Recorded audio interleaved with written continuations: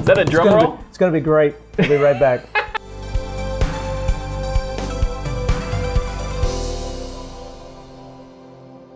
Good morning. Welcome to Wake Up.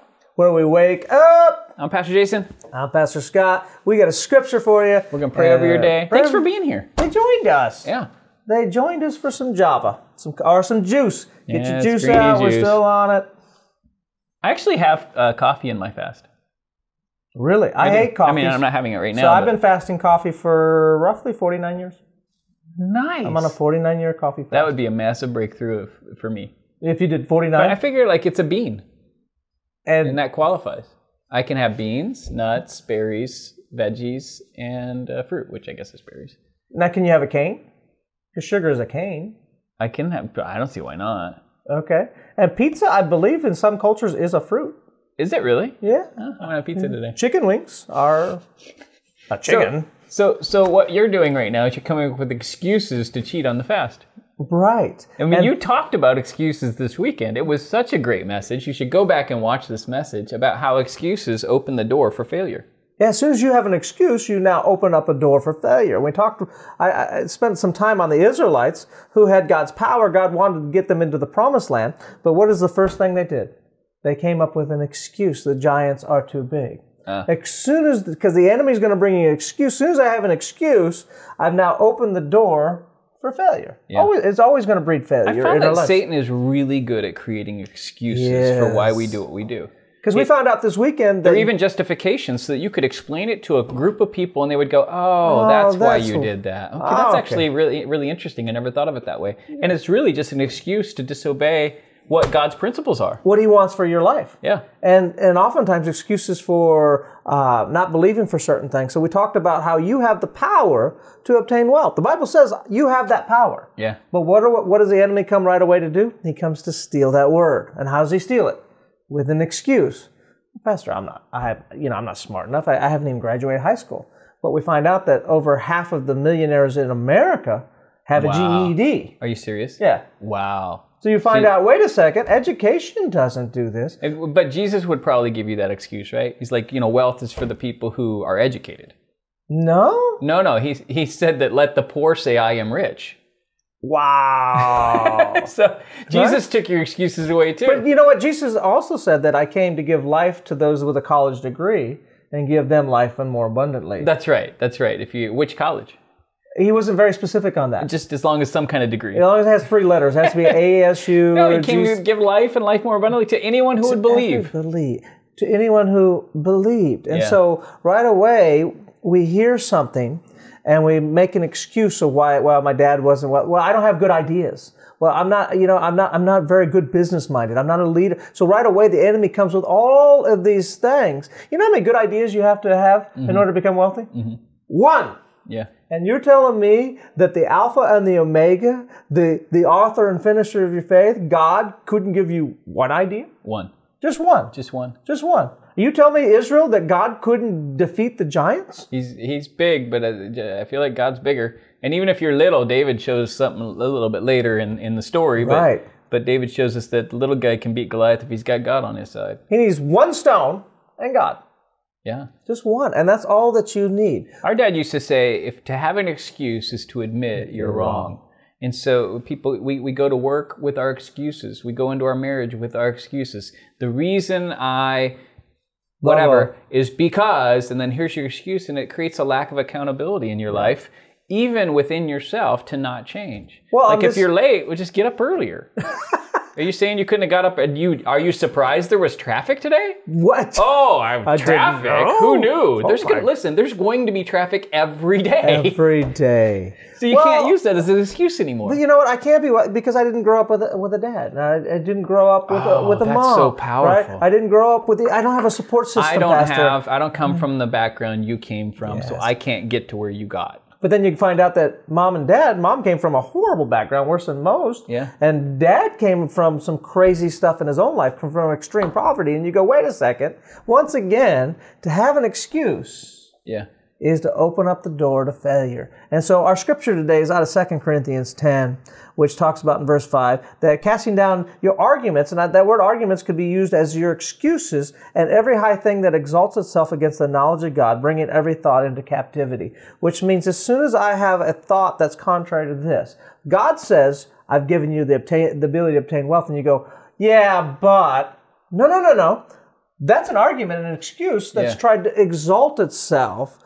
God says, "Hey, I'm gonna bless you in the country. I'm gonna bless you in the city. Bless you wherever you go when you're out." Well, you know, he's gonna bless me. I don't Yeah. know if he's gonna do that. So you've elevated Yeah. once again. Or, or, or they'll say, well, did God really say that? And they start to, to, to parse the word of God in such a Right. way to, to turn its meaning even just a little bit, to, which takes you off course. And that's exactly how Satan works with his excuses is he doesn't just come out with like a blatant lie. He, he comes out with just a small tweak to what God says. It sounds so good, right? The, the ways to a man that seem may seem right, but it's the Lord's will that prevails. So we've got to learn how to exalt God's Share that. word. I know that we're getting out of time, but I still we were talking uh, before we did this. I that book that you were talking about. Oh it was yeah, really I was good. I was reading this this guy and and uh, he was talking about why uh, his his closeness to God, and he said, you know what, I realized in my life that I don't need a temple to feel close to God because I can feel close to God with my back to a tree. I can feel close to God listening to the the sound of the surf and the waves, the rhythm of the the ocean. I can feel close to God listening to a newborn baby cry. And so he had unplugged himself from church, kind of saying that I, I can get close to God without church. he gave himself a whole lot of excuses why he doesn't need church. Yeah, and it sounded so good. And as I read it, I thought, oh, geez, I probably will stop going to church too. And then I'm like, but I, I have to preach this weekend. but but here's what we do sometimes is we create weird sounding, interesting excuses like that. But what he had made his relationship with God about himself, or in other words, God was his servant.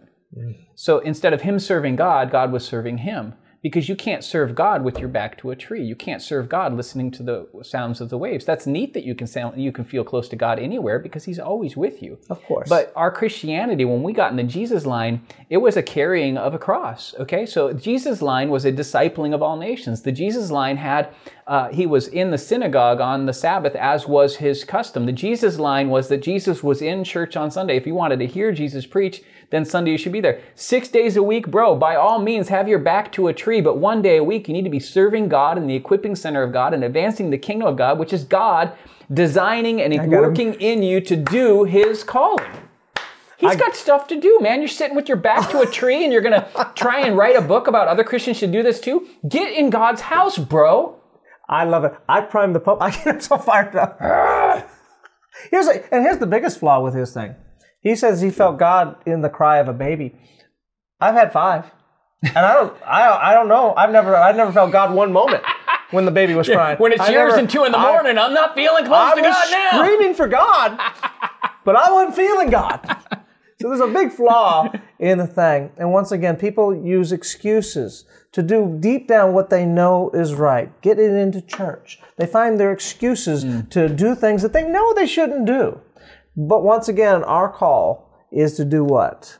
To find a way to make sure that every thought that I have doesn't ever go itself above what God's word says you can do. Mm. God's word says you can be blessed. God's word says you've got the ability to attain wealth. God's word has told you that you can be healthy, that you can be whole, that He came that you can have life and life more abundantly, that you can have joy and peace and you can be filled up with all these. This is what God's word has said. And anything that tries to give me excuse of why I can't experience God's best is does nothing but keeps me in the wilderness for a whole generation. Mm.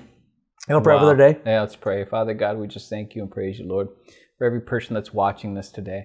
And Lord, that you're moving on their behalf and going before them, Lord. And that you're showing us, Lord, that it's, uh, our excuses are opening up failures in our life, Lord. That, that, that throughout the day, Lord, we're just learning no more excuses, Father God, but we will elevate your word in our lives. We will exalt your principles and patterns because we know that you have a good future in mind for us, Lord, that your will for our future life is one of goodness and prosperity. And so we buy into what your patterns and principles are. Today now, Lord, we we push down the things that have exalted themselves against your word in Jesus' name. Amen. Amen. Hey, give us a thumbs up Make sure you share it. Make sure you like it. And uh, have just a great week. That's right. That's right. Be in church this weekend, wherever your church is. Yep. If you happen to live Enjoy within the waves. 5,000 miles of living word, come here. Enjoy the waves. Enjoy the baby crying. But make sure this weekend you're in God's house. Yeah. Amen. Be blessed. back to your blessings. You were designed to have abundance. You were designed to walk in God's best, to walk in God's blessings, to walk in the Garden of the Eden. Where things of what God has for you is just available. For you and I to be in the promised land, the land that flows, that word flow is very important, that flows with milk and honey. See, when it flows, it means it's just coming to me. And you were designed, as it says in Deuteronomy, for God's blessings to run you down. Somebody say, run me down to run me down and to overtake me. And that's what this series is all about getting God's best to begin to flow. Rather than you chasing God's best, God's best is chasing you. Anybody out there want that? Is there amen anywhere?